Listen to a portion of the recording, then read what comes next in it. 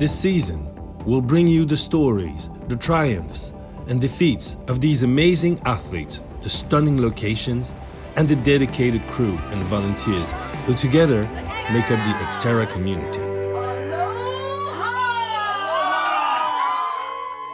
Ladies and gentlemen, hello and welcome to the USA. Our first major race of the season brings us to Oak Mountain State Park in Shelby County, Alabama. About 13 minutes outside Birmingham, this gorgeous location is steeped in Civil War history, outdoor beauty, and southern hospitality. Over the course of two days, the triathletes and trail runners from over 40 different states and multiple countries will let those details fade into the periphery as they focus on getting from start to finish as fast as the previous year's training will allow.